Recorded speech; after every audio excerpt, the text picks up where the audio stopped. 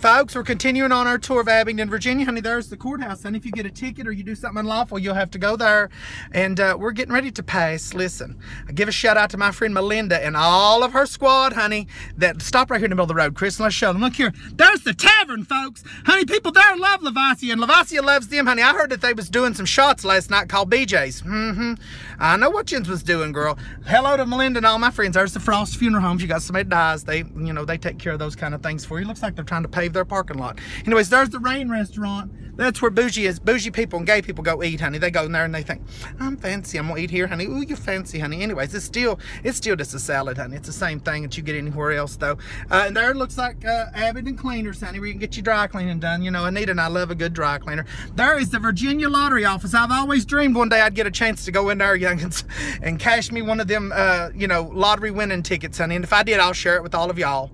But uh, here we are, honey. This town of Abingdon, this Main Street, she just goes on forever, on and on and on and on and on forever, honey. There's a Century 21 Real Estate. I know a gay that works in there. Hello, hello. Good to see you.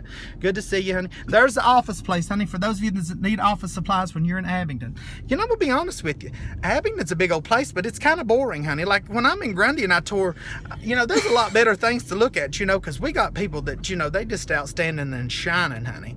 So here's the Food Country USA, not to be confused with Food City that got its roots in Grundy, okay, that's now based in Abingdon now. But that's the Food Country USA, honey. I'm sure you get you some USDA choice meat up in there, honey. Bob's Muffler Shop. And then here comes the TruPoint Bank, which is actually nothing but a miners and a merchants, honey. And that was come from Grundy too. Do y'all not see this? This is all about it, honey. It's all, this is all Grundy, honey. If it wasn't for Grundy, there wouldn't be no Abingdon. And you know I'm telling you the truth. There's a marathon station. And just for those of you who follow gas, it's 213 a gallon there, okay? Now over here is the Cinemall. I'm not sure what that means. That's not like a Cinnabon, honey, but it's a Cinemall, honey. You can go in there and watch your movies. And look next door, youngins, it's a Roses. Those of you that don't know what a Roses is, it is like a prehistoric Walmart. It is like uh, it's like nothing you've ever seen before. It's it's back in time, youngins, but it's roses, honey. You can get your shampoos, get your conditioners, uh, you know, probably get you some of them like hard candy or what they call suck candy in there, you know, just things that you need to buy when you don't feel like going all the way out to the exit 7 of that Walmart or going to the lavish and luxurious two-story Walmart in Grundy. So anyways, uh, over there is the Washington County Technical School for those of you who, you know, didn't aspire to go anywhere else in school other than, than to weld or possibly uh, own a beauty shack somewhere. So that's for you. Anyways, uh, that will be the end of the of the tour of Abingdon, honey. We're going to continue back onto the interstate.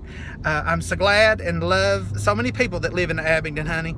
And 24614 to the Abingdon, youngins, okay? Talk to you soon. It's Lae'Visia Rivers, live and on location, honey. And thank my driver again today. Listen, I don't tour without Chris.